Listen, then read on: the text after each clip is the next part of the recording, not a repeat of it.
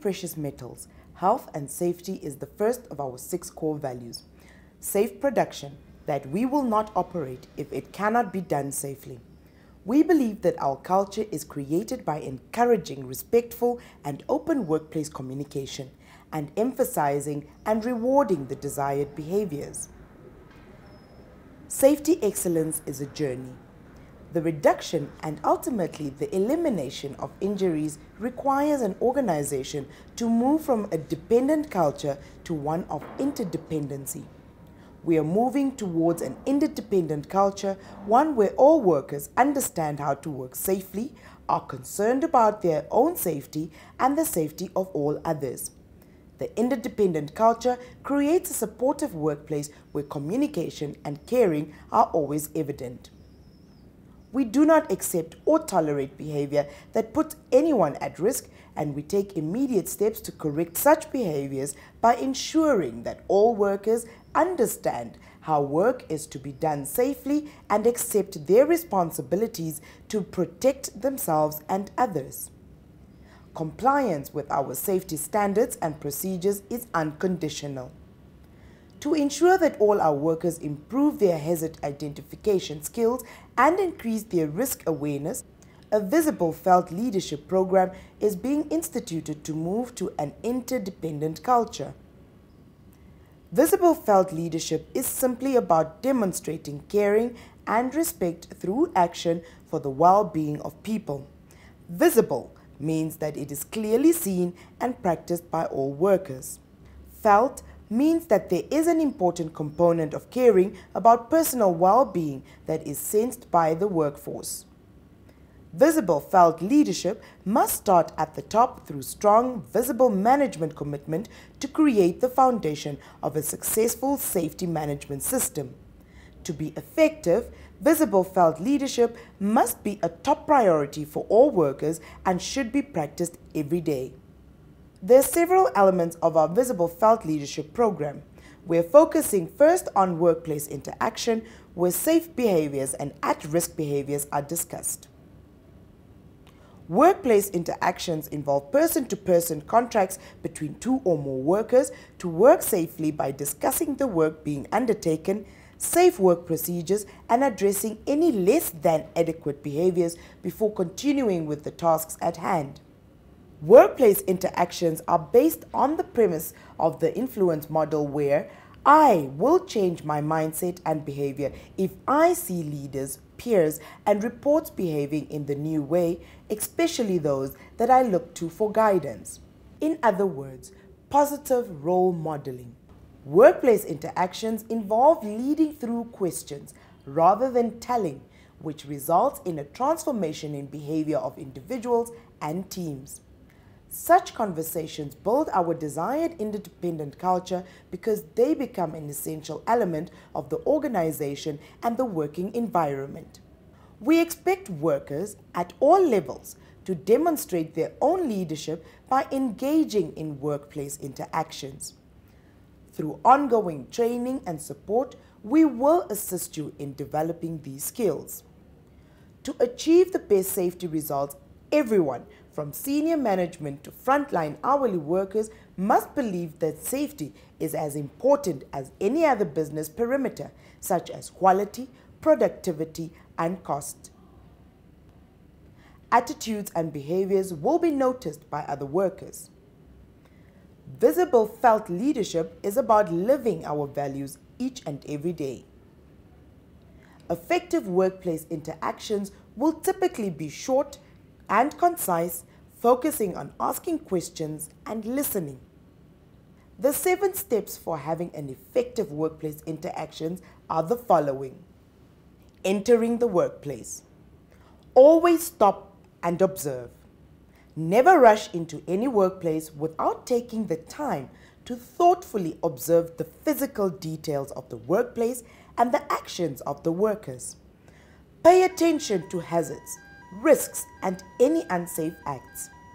Step 2. Introduce yourself. Particularly if you're not part of the work team, always explain to fellow workers who you are and why you're there. Don't ever carry a clipboard. Never be critical or aggressive. Start the conversation by expressing your concern for the safety of your fellow workers, that you'd like to understand their work and the steps being taken to protect themselves. Step 3. Ask open ended questions and listen to create a conversation and common understanding. Ask open ended questions of the workers about the work being performed, the hazards and risks identified, and how these are being addressed. Refrain from telling fellow workers that they should or should not be doing. Ask questions about hazards that have not been identified and any unsafe acts that are observed. In this way, mistakes will be arrived at through elimination and the correct procedures will automatically emerge. Listen carefully to the responses and use these to formulate additional questions, creating a common understanding of the steps required to ensure the safety of the worker and protection of the environment. This helps people to relax and not feel defensive so that they can engage constructively in the conversation. Step 4. Accentuate positives and reinforce expected behaviors. Effective workplace interactions focus on the positive aspects and behaviors that were followed in planning and carrying out work. At risk behaviors, aspects that are missed and procedures not being followed must be pointed out this should always be done through questioning in a calm manner. Our workplace interaction process is never about assigning blame. Step 5. Discuss any other concerns and agree to do the job safely.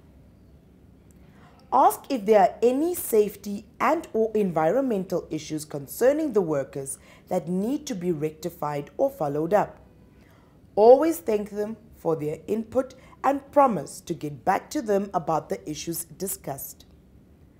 Agree about what was done incorrectly. Observe the right behavior in action so that the individual has the opportunity to demonstrate their competency to do the work correctly. Leave them with the reinforcing thought that safety is our number one core value. Step number six record the results of your interaction. As soon as you get back to the office, record your findings in our database. Remember that a no name, no blame principle applies. If it, however, at risk behavior and or if established and known procedures are ignored more than once, then disciplinary action must be initiated. This is for the protection of the worker and all other people. Step 7. Analyze trends from data to share at meetings. Analyze trends in the data to provide accurate feedback at safety meetings. This will ensure the focus is on areas that need attention and allows reinforcement of all safety values, principles, behaviors, and procedures. At DPM, we are growing to be a leader in the gold mining industry and we are committed to safety excellence. Safety excellence is a mindset that we can all achieve. A great company is filled with leaders who believe deeply in safety excellence.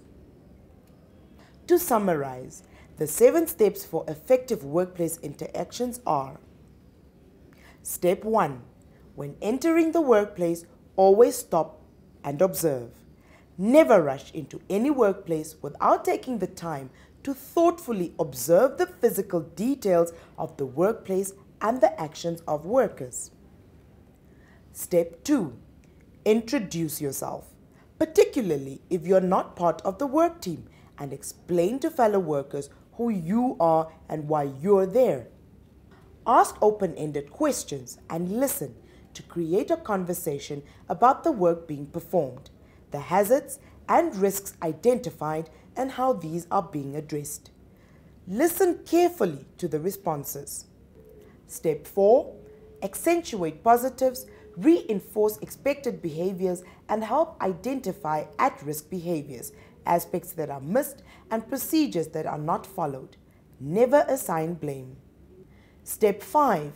Discuss any other concerns, agree to do the job safely, and thank the workers for their input and promise to get back to them about any outstanding issues discussed. Step 6. Record the results of your interaction, remembering that a no name, no blame principle applies. Take disciplinary action for repeated violations of established and known procedures. Step 7. Analyze trends from data to share at meetings to ensure that the focus is on areas that need attention. Visible felt leadership workplace interactions will actively change our culture so that every worker starts each day with a sense of purpose and ends each day with a sense of accomplishment. Together, we will be able to protect what really matters our DPM family.